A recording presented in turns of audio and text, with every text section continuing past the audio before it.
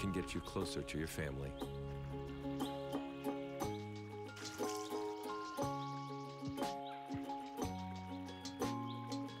Go to discovertheforest.org.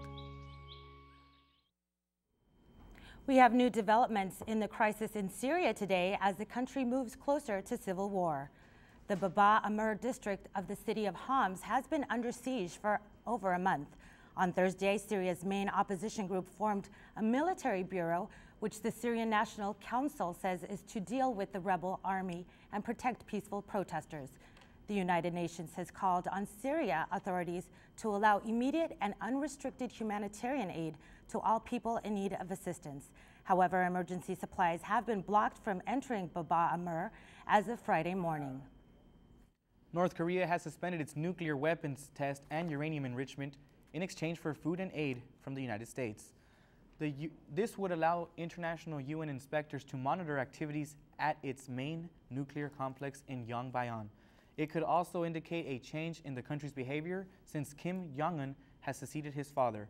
President Obama called this move important if limited. In the past, North Korea agreed to hold off on nuclear efforts, but then has backed out of the agreement. But North Korea claims it will carry out the arrangement as long as talks proceed fruitfully. And the GOP primaries battled on this week. All eyes were on Michigan frontrunner Mitt Romney's home state. A few weeks ago, he was behind the Michigan polls to candidate Rick Santorum. Although he clinched the win this week, it was only by three points. Because the race was so close, he and Santorum received the same number of delegates. Romney, Romney also came out on top in Arizona and Wyoming. Now the candidates are gearing up for next week's Super Tuesday, with 10 states holding primaries on Tuesday. More delegates can be won on this day than any other. Thousands of walkers and runners are expected to show up at Balboa Park this weekend to honor Chelsea King. The Poway teenager was murdered by a violent sex offender in 2010. She was running along the trail in Rancho Bernardo. Tomorrow is the second finished Chelsea runs 5K. It starts at 7.30 in the morning. And with gas prices rising every single day, it's putting a strain on the wallet. AAA and the Oil Price Information Service reported the average price of a gallon of regular gasoline in San Diego is $4.35, and the prices are still climbing. Two major Southern California refineries have temporarily shut down for maintenance to comply with federal clean air mandates. And with the oil prices surge after Iran cut off the exports to Britain and France. Most of the oil that the United States imports is from Mexico, Canada, and Saudi Arabia. Since oil is an international traded commodity, Iran's decision is affecting prices everywhere, and consumers are gassed.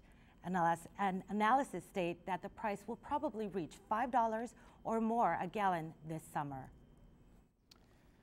A popular hair treatment is being removed from many salons after clients and stylists were exposed to high levels of formaldehyde. Ashley Custer has the story beautiful, frizz free hair. But at what cost? The FDA and Occupational Health and Safety Administration recently found levels of formaldehyde to be 52 times the legal limit. The Brazilian blowout and other keratin hair treatment products claim to be formaldehyde free, but test results showed some contained up to 10.4% of the chemical known to cause cancer. Some stylists have reported having nosebleeds, eye irritation, and trouble breathing while performing the blowout on clients. But even with the new findings, some people still think the end result is worth the risk. Like hearing those stats like do concern me, but I think it really has like helped my confidence and like helped my life. So like I don't really I know that it's bad, but I don't really think it's like that bad.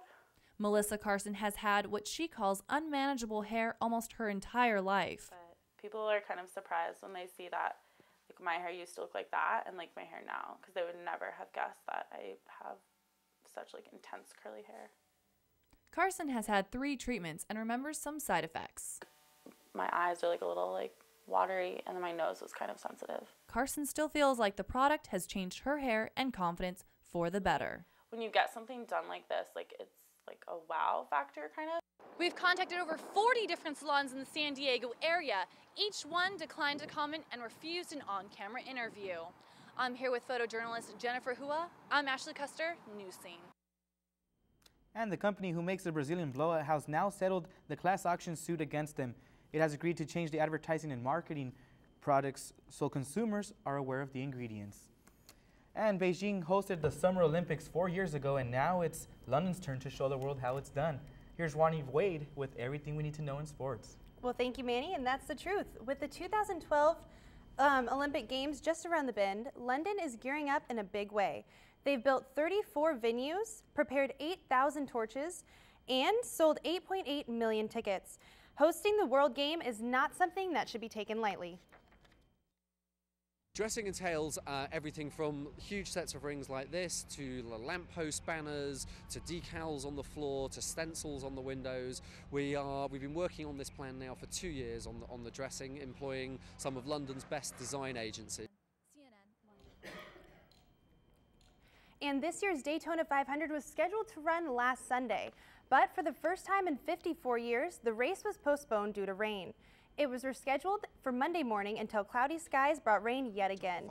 Finally, Monday evening, it subsided, and the first night race of the Daytona 500 took place. Matt Kenseth won, although Danica Patrick was the one who took most of his spotlight. After crashing in her qualifying run on Thursday and spinning out again on Saturday, Patrick was taken out in the second lap by Jimmie Johnson and didn't finish the race. She's the third woman ever to race in the Daytona, along with legends Janet Guthrie from 1977 and Shawna Robinson in 2002. But Daytona wasn't the only thing making headlines in Florida this weekend. The 2012 NBA All-Star Game took place in Orlando. Kobe made history by passing Michael Jordan's 264-point record in his 13th All-Star Game appearance. But Dwyane Wade didn't care. In the third quarter, Wade played some strong D against Kobe and manages to fracture his nose. Kobe found out later in the week that he may be concussed, but was cleared to play against Minnesota on Wednesday evening. West beat East 152 to 149, and Kevin Durant was the MVP. And speaking of MVPs, the MLB MVP Ryan Braun may have dodged his 50-game suspension after his herpes medication caused him to fail a drug test, but he isn't out of the woods just yet. Dino Laurenzi Jr. is being accused of tampering with Braun's sample after an improper collection. However, Braun signed a document stating his sample was collected properly and protocol was followed.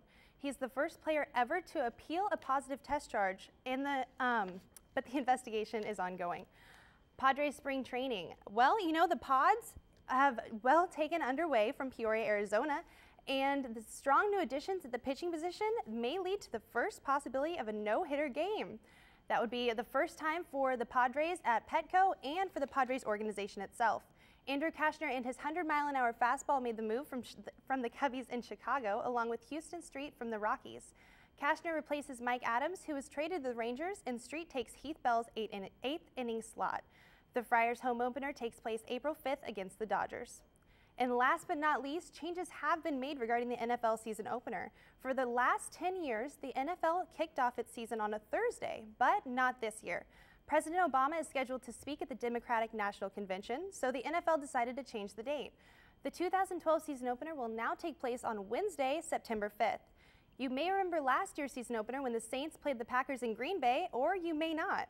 For us here in San Diego, that was the night of the power outage that caused NFL fans throughout Southern California, Arizona, and even south of the border to miss the first game after the lockout.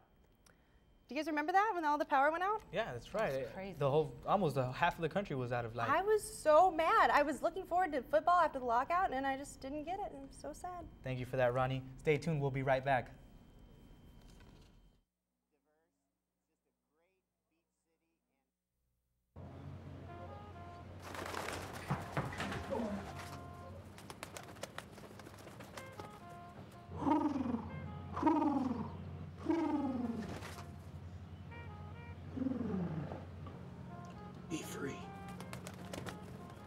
Nice, Dad. Nice, Dad. Nice. Dad. Charles! Nice, Dad. You don't have to be perfect to be a perfect parent. There are thousands of siblings in foster care who'll take you just as you are.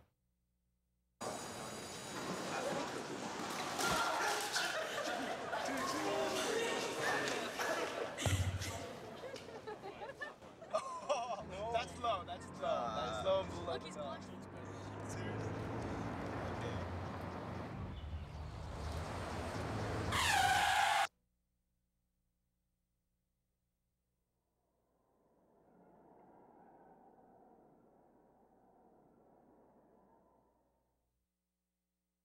Looking for something to do this week?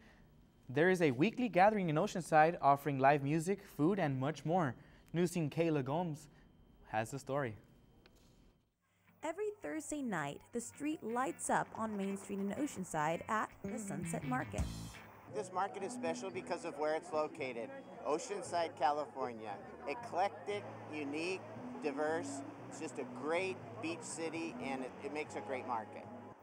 But it's more than just a typical street fair, featuring some of the most unique vendors San Diego has to offer.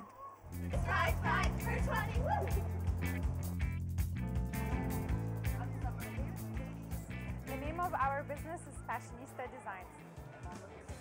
We're Oceanside residents and we always enjoyed the Sunset Market. It's beautiful and we have a hobby and we wanted to develop it and share it with the public. And here at the Sunset Market, there's a great variety of all different kinds of things, from products to, of course, food.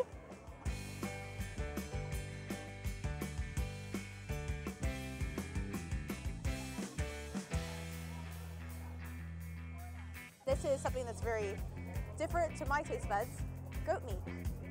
So here it goes, I've never tasted this. I don't think I've ever had goat before. I like the cheese though. Hot.